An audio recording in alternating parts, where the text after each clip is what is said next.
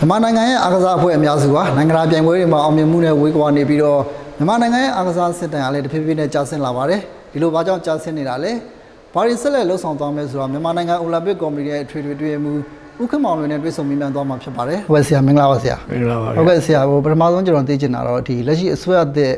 ဒီအခုဒီပြောင်းလဲလာတဲ့အချိန်မှာပေါ့နော်ဒီမြန်မာနိုင်ငံအိုလံပစ်ကော်မတီရဲ့အားကစားလောကပေါ်မှာဒီလှုပ်ဆောင်တဲ့အခမ်းကဏ္ဍနဲ့တာဝန်ယူမှုကဘာတွေလဲဆိုတာပြောပြပေးပါခင်ဗျာဟုတ်ကဲ့ပါ ဒါတော့မြန်မာနိုင်ငံအိုလံပစ်ကော်မတီအနေနဲ့ကတော့သူသမိုင်းကြောင်းလေးလည်းရှိတာပေါ့လေစအဖွဲ့အစည်းတာတော့ကျွန်တော်1946ခုနှစ်နိုဝင်ဘာလ26ရက်နေ့စတင်ဖွဲ့စည်းခဲ့တာဆိုတော့အခုဆိုရင်ပဲဒါ80တစ်နှစ်ထဲရောက်လာပြီပေါ့နှစ်ပေါင်း80ကျော်ခဲ့ပါပြီဒီအိုလံပစ်ကော်မတီဆိုတာကအပြည်ပြည်ဆိုင်ရာအားသာဆက်နွယ်မှုတွေအလုံးမပြည့်ကျွန်တော်တို့အရှိတောင်အာရှအားသာပြိုင်ပွဲတွေအာရှအားသာပြိုင်ပွဲတွေအိုလံပစ်အားသာပြိုင်ပွဲတွေ ကျင်းပပြုလုပ်တဲ့နေရာမှာအရှင်နိုင်ငံအဖြစ်လက်ခံကျင်းပပြုလုပ်တဲ့တော့၎င်းဒီအခြားနိုင်ငံတွေမှာ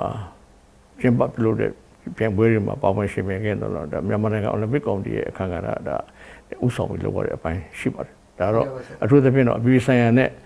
အားသာလုပ်ငန်းနဲ့ပြည်ဆိုင်အိုလံပစ်ကော်မတီအဖွဲ့အစည်းနဲ့ဆက်သွယ်လာတဲ့လုပ်ငန်းတွေပေါ့ဟုတ်ကဲ့ဆရာဒီအစိုးရတဲ့လက်ထက်မှာဒီအားကစားဝန်ကြီးဌာနမရှိတော့ဘဲနဲ့ဒီကျန်းမာရေးဝန်ကြီးဌာနအောက်ကိုဒါဦးစီးဌာနတစ်ခုအနေနဲ့ရောက်ခဲ့တယ်ပေါ့နော်အဲ့တော့ ဒီအလိုရောက်ခဲ့တဲ့အတွက်ဒီအားကစားဒီပြည်တော်စုဝန်ကြီးကဒါကျန်းမာရေးဒီကဏ္ဍမှာလည်းရှိနေတော့ပေါ့နော်။ကွာခြားချက်ပေါ့နော်။အရင်ဒီအားကစားဝန်ကြီးဌာနတည်တံ့ရှိတဲ့အခြေအနေမှာဒီအခြေအနေနဲ့လက်ရှိဒီကျန်းမာရေးဝန်ကြီးဌာနမှာအောက်မှာရောက်သွားတဲ့အခြေအနေမှာဘယ်လိုကွာဟမှုရှိလဲဆရာအားလေးတစ်ချက်လောက်သုံးသပ်ပေးပါဦးဆရာอืมဒါပြည်တော်စုဝင်ကြီးအနေနဲ့ကတော့ဟိုတော့ကတော့အာဇာဝင်ကြီးဌာနတစ်ခုတည်းပဲဒီကင်တွေခဲ့ရတဲ့ပြည်တော်စုဝင်ကြီးဆိုတဲ့အခါကျတော့ဒါအာဇာမှာပဲဒါအထူးသဖြင့်အဲလိုစိုက်နိုင်တာပေါ့လေ ဆိုတော့ဒီဘက်ဒီအစိုးရတက်ရောက်လာတဲ့အခါကျတော့ဒါလိုအပ်ချက်အရာဒါပူပေါင်းလိုက်တာပါတချို့ဝင်ကြီးဌာနတွေအလားတူပဲလူကြီးတဲ့ဥမာရင်ကျင်းမှုနဲ့တာသာကြီးတော့ပေါင်းသလိုမျိုးအဆရှိတယ်ပဲပေါ့အဲ့တော့ကျွန်တော်တို့ဒီမှာကျမ်းမာရေးနဲ့အာသာဝန်ကြီးဌာနဆိုတာလည်းပဲဒါကျွန်တော်ဒီဒီလုပ်ငန်းနည်းနည်းလေးစင်တူတဲ့သဘောမျိုးဆိုပြီးတော့ပုံအောင်ဖွဲ့စည်းလိုက်တာပါအဲ့တော့ဒီမှာတာဝန်ယူလာတဲ့တာဝန်ယူရတဲ့ပြည်တော်စုဝန်ကြီးအနေနဲ့တော့လုပ်ငန်းပုံများလာတော့ ပုံပြီးများလာတော့အထူးသဖြင့်တော့ကျွန်တော်တို့မြင်နေတာပေါ့လေအရင်တော့ကလည်းကျွန်တော်တို့အာသာလုပ်ငန်းတွေကျမ်းမာရေးဝန်ကြီးဌာနအောက်မှာပဲနှစ်ရှည်လာများကျွန်တော်တို့ဒီဆောင်ရွက်ခဲ့တဲ့လုပ်ငန်းတစ်ခုပါဆိုတော့အခုတစ်ခါကျတော့ပြန်ပြီးတော့ဒါတမိုင်းတစ်ချောင်းပြန်လှည့်လာပေါ့ကျမကြီးဝန်ကြီးဌာနကိုပြန်ရောက်လာတဲ့သဘောမျိုးကျမကြီးနဲ့အာသာနဲ့ပေါင်းပြီးတော့ဝန်ကြီးဌာနတကူဖြစ်လာပြည်တော်စုဝန်ကြီးအနေနဲ့တော့တာဝန်တွေပိုးလာတာပေါ့ဝန်ကြီးတဦးအနေနဲ့ဝန်ကြီးဒီအာသာနှစ်ခုကိုဟု တ်ကဲ့တာဝန်ယူရတဲ့အတွက်အဲ့တော့ပို့ကျော်သွားတယ်ဆိုတာမရှိပါဘူးကျွန်တော်ဒါလည်းပဲဒီနိုင်ငံတော်ရဲ့ဦးစားပေးလုပ်ငန်းတွေမှာကျမကြီးဟာအရေးပါရရောက်လို့အားစားလုပ်ငန်းကလည်းပဲအရေးပါရရောက်တဲ့လုပ်ငန်းတစ်ခုဖြစ်တယ်ဆိုတော့လူကြီးအားလုံးကသိထားပါတယ်ဒီလုပ်ငန်းတစ်ခုလုံးမှာဒါကျွန်တော်ဒါ balance ဖြစ်တော့လုပ်ရတော့ပေါ့အားတော့ဟိုဟိုဆိုင်ရတော့ပေါ့ဒါဝန်တော့ပိုများလာတော့ပေါ့ ဟုတ်ကဲ့ဆရာနောက်တစ်ခုကျွန်တော်သိချင်တာကတော့အခုကျွန်တော် budget အနေထားကိုသိချင်တယ်ပေါ့တော့အရင်အစိုးရလက်ထက်ကအားကစားကဏ္ဍအတွက် budget အနေထားနဲ့လက်ရှိအစိုးရအသစ်လက်ထက်မှာပေါ့နော် budget အနေထားဘယ်လိုကွာမှုရှိလဲအားလေးတစ်ချက်လောက်ရှင်းပြပေးပါဦးဆရာကျွန်တော်ဒီ budget အနေနဲ့ကတော့ဒါကျွန်တော်တို့ကအတိအကျတော့ကျွန်တော်တို့ကျွန်တော်တို့ရဲ့ပတ်သက်တဲ့ကိစ္စမဟုတ်တဲ့အတွက်ဒါတော့အတိအကျတော့အဲပြောလို့မရဘူးသို့တော်လည်းပဲတေချာတာတော့ကျွန်တော်တည်ထားတဲ့ကိစ္စကတော့ဒါအားစားလုပ်ငန်းတွေကဒါအရင်အစိုးရလက်ထက်က ပါလာတဲ့လုပ်ငန်းတွေစီမံချက်တွေစီမံကိန်းတွေဒါတို့ဒီအစိုးရလက်ထက်မှာပြန်ပြီးဆက်ပေါ်တာရှိတယ်။နောက်လုပ်ငန်းစီမံချက်အသစ်တွေစီမံကိန်းအသစ်တွေအဲလိုဥပမာဖြစ်တာကျွန်တော်တို့ပြောရရင်ဒါဥပမာအဖြစ်ပေါ့။မှကျွန်တော်ဒါဒီအာဇာနကာပညာသိပ္ပံနေအဲကျွန်တော်ဟိုတုန်းကဆိုရင်ဒါအရင်အစိုးရလက်ထက်တုန်းကဆိုရင်ဒါလေးခုပဲရှိတယ်။ရန်ကုန်ရဲ့မန္တလေးရဲ့တောင်ကြီးရဲ့မော်လမြိုင်ရဲ့အခုဒီဘက်အစိုးရတက်လာတဲ့အခါကျတော့ဒီနှစ်ထဲမှာဘူးပဲဒါကျွန်တော်ဟိုဘက်ကလုပ်ငန်းရှင်ရဲ့ စက်တိုက်ပါလာတဲ့လုပ်ငန်းစဉ်တစ်ခုစီမံကိန်းတစ်ခုအနေနဲ့ဒါအာဇာနကာပညာသိပ္ပံဆိုတဲ့ဒီအဖွဲ့အစည်းမှုကြီးတစ်ခုကိုကျွန်တော်ဒီဆက်လက်အကောင့်ထဲပေါ်တဲ့နေရာမှာဒီနှစ်ထဲမှာဒါဂျွန်လာဆိုရင်ဒါစကိုင်းတိုင်းမိုးရွာမှာတစ်ခုကျွန်တော်ကြရပြည်နယ်လွယ်ကောမြို့နယ်မှာတစ်ခုလွယ်ကောမြို့မှာတစ်ခုဒါကျွန်တော်ဆောက်လုပ်ဖို့ဆိုဒါတွေကအားလုံးကဘတ်ဂျက်ကဘတ်ဂျက်ကစကားပြောလာနောက်တစ်ခါလည်းပဲကျွန်တော်တို့ကဟိုအများဆုံးဘတ်ဂျက်အများဆုံးသုံးတဲ့ အဲ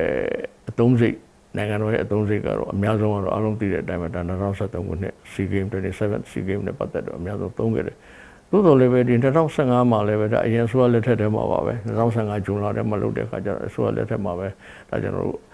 ဟိုမလျှော့မဖို့သုံးခဲ့တာရှိတယ်ဟိုလာမဲ့အဲ့တော့ကျွန်တော်တို့ဒါ2016ဒီ ဩဂတ်လထဲမှာဒါရီယိုအိုလံပစ်အားစားပြိုင်ပွဲဒါကျွန်တော်ဆင်လာမဖြစ်ကျွန်တော်အသုံးစီတွေ38တွေသုံးတယ်ဟို2018ဆိုရင်ဟိုဒီနေ့ထဲမှာဆိုရင်ဒါဩဂတ်လထဲမှာမလေးရှားနိုင်ငံမှာကျွန်တော်ကျင်းပပြုလုပ်မဲ့29ချိန်မြောက်အရှိတော်အာရှစားပြိုင်ပွဲဒါတွေကအခုတည်းကကျွန်တော်ကျွန်တော်တို့ကဒီအာဇာသမားတွေအရင်လှုပ်လာခဲ့တဲ့ပုံစံအတိုင်းပဲနှစ်ရှည်စကန်တွင်လေးကျင်တာနှစ်ရှည်ကျွေးမွေးတဲ့အစီအစဉ်တွေနှစ်ရှည်လေးကျင်တာတွေဒီအတွက်မှာအွန်လိုင်းရေးအတွက်လည်းပဲပြင်ဆင်လေးကျင်ဒီဒီ budget တွေကကျွန်တော် ဟိုအရင်လိုပဲများပြားခဲ့တာပါဆိုလိုတာကတော့ကျွန်တော်အတိအကျဘယ်လောက်သုံးဆွဲတယ်ဆိုတော့ကျွန်တော်ဟိုဖော်ပြနိုင်ရမရှိပေမဲ့ budget သုံးဆွဲဖို့အနေထားကတော့မလျော့သွားဘူးပို့ပြီးတော့များလာတယ်ဆိုတော့ကျွန်တော်ပြောလို့ရပါတယ်အလားတူပဲဒီမြို့နယ်တွေရဲ့ township TSD လို့ခေါ်တော့ township sport development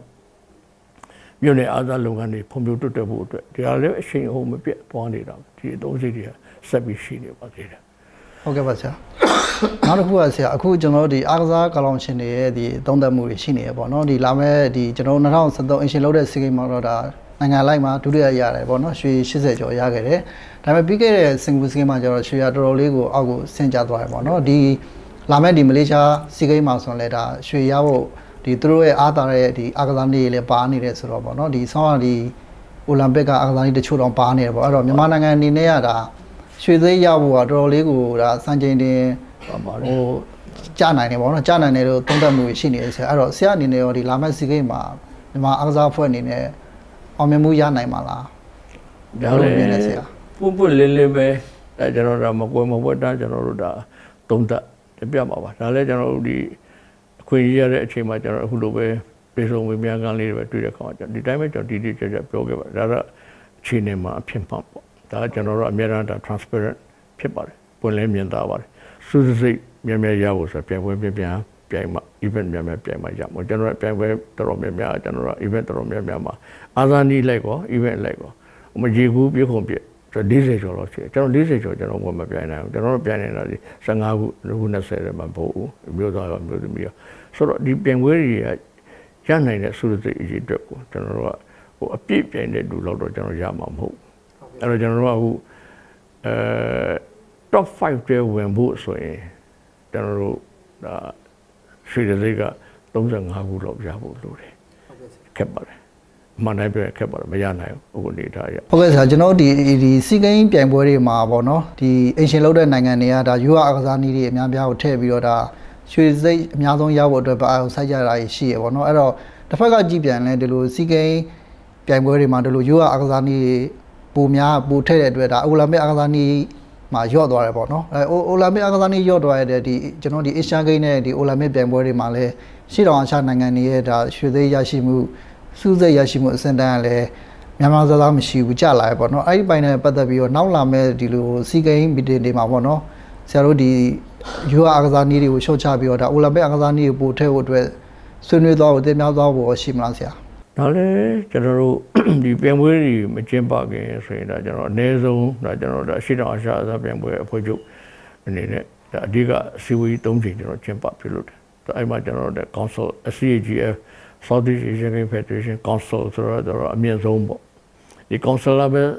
အပြီးပြီးတော့ဆုံးဖြတ်တာပါ။ Council အောက်မှာအစီဒီ Southeast Asian Federation Executive Committee အလို့မှုဆောင် committee ရှိတယ်။သူ့အောက်မှာ standing committee ကြောင်းရှိတယ် sports and rules committee ကျွန်တော်တို့နှစ်ရှည်လာမြန်ဒီအနှစ်340လောက်အဲ့ committee တွေမှာတောက်လျှောက်ကျွန်တော်ပါပါလာခဲ့တယ်ဆိုတော့ကျွန်တော်ဒီအစည်းအဝေးတွေမှာအများနဲ့ကျွန်တော်ဒီကိစ္စတွေဆွေးနွေးတယ်ဆိုတော့အားလုံးကလည်းသဘောတူတယ်ဒါပေမဲ့ဒီပြိုင်ပွဲတစ်ပွဲရောက်လာတိုင်းရောက်လာတဲ့မှာအေရှန်နိုင်ငံကသူ့ရဲ့အကဲတာမှုတွေလုပ်လာတယ်မှာတချို့ဒါဒီဒီတနည်းအားဖြင့်ပြောရတော့ဟို Sea Southeast Asian friendship ပေါ့လေ Asian နိုင်ငံကိုထောက်ပံ့ပေးတာ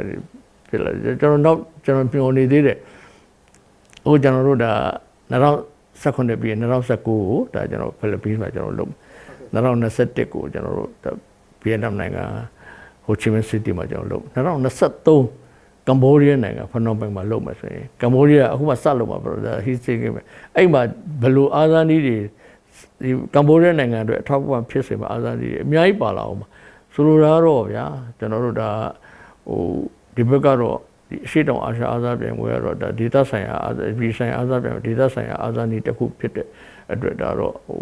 အပြည်ဆိုင်ရာအာဇာပြိုင်ပွဲမှာတော့ဒါအနေဆုံးပြိုင်ပွဲတစ်ပွဲဖြစ်တာပေါ့ဒါပေမဲ့ဒီပွဲကနေဆိုတော့ကျွန်တော်လိုချင်တာကအခုတည်းကျွန်တော် drive လုပ်နေပါတယ် category 3ကျတော့ကျွန်တော် Southeast Asian Asian အတွက်ပေးထားတဲ့ဥစ္စာဒါတော့လည်းဒါပေမဲ့ကျွန်တော်တို့က 18ခုဖြစ်မဲ့အများဆုံး10ခုပဲဆိုတော့ကျွန်တော်သတ်မှတ်ထားလိုက်တာတော့ဆရာတို့ဒီ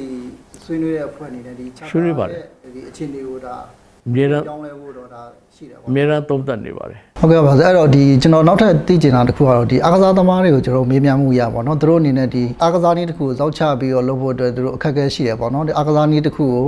စောက်ချပြီးတော့ဒါသူတို့ရဲ့ဘဝရက်တည်မှုအတွက်အခက်အခဲရှိရလို့လည်းပြောကြရပါတော့အဲ့ပိုင်းနဲ့ပြီးတော့ပတ်သက်ပြီးတော့ဆရာအနေနဲ့ဘယ်လိုထင်မြင်ချက်ရှိလဲဆရာ မှန်ပါတယ်ဒါလည်းတကယ်သုံးသပ်လို့ရှိရင်ဒီအခက်အခဲတွေတော့ရှိနေတော့မယ်တနည်းအားဖြင့်တော့ဒီလေရွေးစဉ်အာသာသမာနိုင်ငံအကုန်ကိုအချိန်ချင်းဆောင်နိုင်ခဲ့ကြပြီးတော့ကိုတက်တန်းကုံသွားတယ်တက်တန်းဆိုတာဒီနိုင်ငံလေရွေးစဉ်အဖြစ်ကနေရန်နာသွားတဲ့အခါမှာတော်တော်လေးကိုချွတ်တဲ့ချွတ်ချွတ်တဲ့တဲ့နဲ့သူရဲ့အစီအစဉ်မရှိဘူးဒါနိုင်ငံတကာမှာရှိတယ်ဗျကျွန်တော် International Olympic Committee မှာဟိုဒီ athlete career program ဆိုတာရှိတယ် the life career ပဲဆိုတော့ အားကစားသမားဒီတနေရာမှာနားပြီးတော့သူ့ရဲ့နားယူသွားရင်ဘယ်နေရာမှာဘာထည့်ပေးမလဲမနီးပြအဖြစ်ပေးမလား sports coach အနေနဲ့ပေးမလား administrator အနေနဲ့ပေးမလားဟာလားအစကြီးအားစားမှာပဲဆက်ဆက်နေအောင်အဲ့တော့ကျွန်တော်ဒီမှာလည်းပဲကျွန်တော်ဖြစ်စီနေတာပေါ့လေဒါလည်းအခုတော့စပြီးတော့ drive လုပ်နေပါပြီဟုတ်ကဲ့ပါဆရာနောက်ဆုံးအနေနဲ့ဒီမြန်မာအားကစားလောကဖွံ့ဖြိုးတိုးတက်လာဖို့အတွက်ပေါ့နော်တခြားဆရာဖြစ်ဆက်ပြောကြားဆရာရှင်လည်းပြောပြပေးပါအောင်ဆရာကျွန်တော်တို့ဒီအားစားသမားတွေကိုပြုစုစနစ်ကျပြုစုဝင်မျိုး ပြောထောင်သွားမယ်ဟာလာကျွန်တော်တို့တစ်ဖက်ကလည်းပဲကျွန်တော်ဒီလိုလုံနိုင်အောင်မပညာရေးနဲ့ပေါင်းစပ်မယ်အဓိကတော့အဲ့ဒါပေါ့ကျွန်တော်မြေမောင်းထိုးခြင်းတယ်နောက်တစ်ခါကျွန်တော်လိုအပ်လာတဲ့အားစားခွင့်အားစားယုံတွေနော်အားစားသမားထိုးခြင်းတဲ့အားစားသမားစနစ်ကျပေါ်ပေါက်လာဖို့အတွက်ထူးချွန်သောစနစ်ကျတက်မြောက်ထားတဲ့လေ့ကျင့်ရေးဘိုင်းမှာတာဝန်ယူတဲ့ကိုချစ်စီလိုအပ်တယ်ကျွန်တော်ပြည်တွင်းပြည်ပအတွေ့အကြုံတွေကျွန်တော်ဒီပြည်ပအဲ့ဒါကျွန်တော်တင်နန်းတွေလွတ်ဒီပွဲလုံးတင်နန်းတွေလွတ် အဲ့ကျွန်တော်ဒီမှာအားလာကျွန်တော်အားစားနဲ့ဘွေရထားလို့ကျွန်တော်ခေါင်းလက်ချိုးယူလို့ရပါတယ်တော်တော်ကြီးအများကြီးရတာနိုင်ငံတကာမှာဆိုတော့အများကြီးဖြစ်နေကြတော်တော်ကြီးအားလုံးဟာအားလာဒီ sponsor တွေရဲ့ပံ့ပိုးကူညီပေးနေတဲ့လူတွေနောက်တော့ media အဖွဲ့တွေနောက်ကျွန်တော် channel လို့မရဘူးဟိုဒါတွေအားလုံးဟာအဲ့လာအခုကျွန်တော်တို့အခုလို interview တွေလုပ်ကြပြောကြဆိုကြဆိုရင်ဒါတွေက motivate လုပ်ပေးတဲ့ဒီအားစားသမားတွေအတွက်လူငယ်တွေအားစားသမားတွေအတွက်ထိရောက်တော့စေစောပုံ ရရှိပြီးတော့နိုင်ငံအတွက်လုပ်ပေးမယ်ဆိုတဲ့စာသားလေးအဲ့ဒါဒီအားစားသမားကောင်းတွေရဲ့ထားရှိတဲ့စိတ်ဓာတ်လေးရှိလာမယ်ဆိုရင်နိုင်ငံလည်းအလုံးဘက်ဆုံးပုံပြလာမယ်ဆိုရင်ဒါအားစားတိုးတက်လာမှာပဲ